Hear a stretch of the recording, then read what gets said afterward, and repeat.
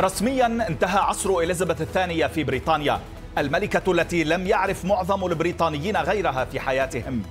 إلى مثواها الأخير في كنيسة سان جورج في وينزر جنازة لم يسبق لها مثيل في التاريخ بحضور زعماء العالم وعشرات الآلاف في الشوارع لوداع الملكة. ستستقر الملكة إليزابيث إلى جانب زوجها الأمير فيليب الذي توفي العام الماضي وأيضا إلى جانبها سيكون هناك والداها وشقيقتها الأميرة مارغريت السيدة التي كانت رمزا للإمبراطورية البريطانية لسبعة عقود. أصبحت من الماضي. نجلها تشارلز يتحمل المسؤولية ولكن سيظل دائما محاطا بظل والدته.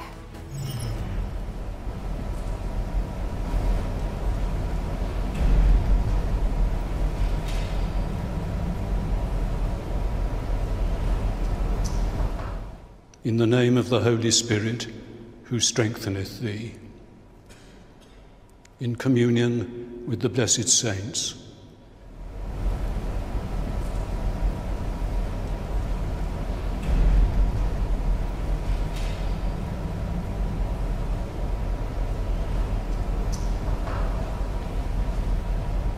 The late, most high, most mighty,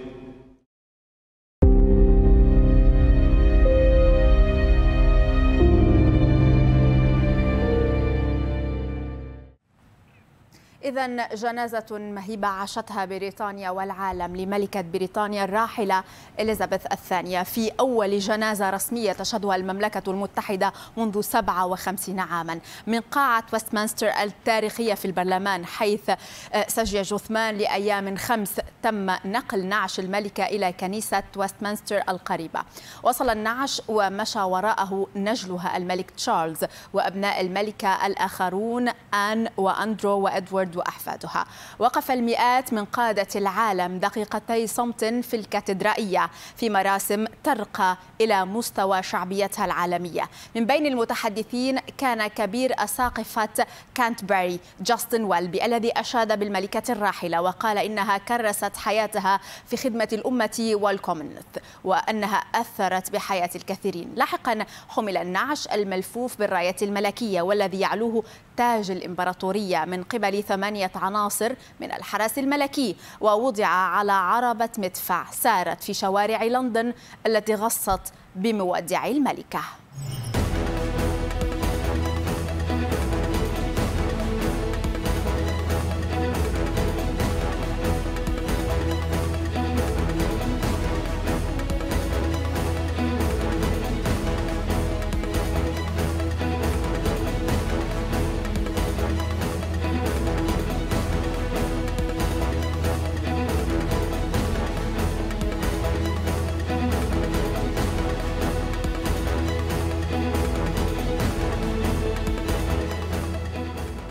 40 كيلومترا وثلاث ساعات.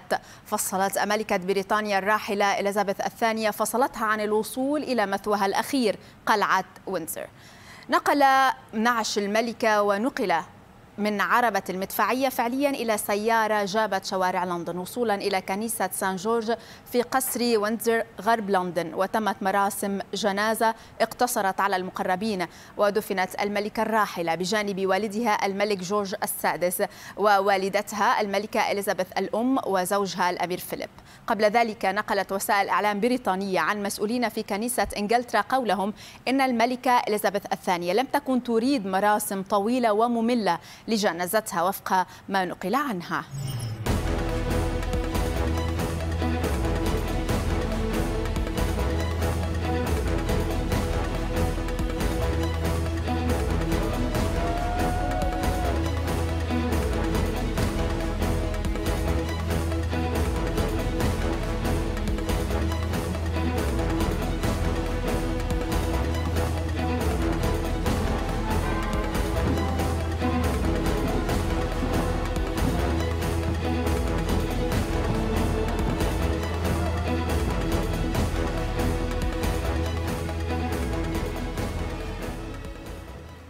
صحيفة واشنطن بوست طرحت سؤالا حول سبب افتتان العالم بالملكة إليزابيث الثانية وأشاروا إلى وجود فارق بين العائلة الملكية البريطانية ممثلة في الملكة الراحلة وباقي العائلات الملكية في الدول الأوروبية. مثلا قالت الصحيفة إن جنازة الملكة تذكير للملايين بالوقت المتغير الذي كانت فيه على عرش بريطانيا.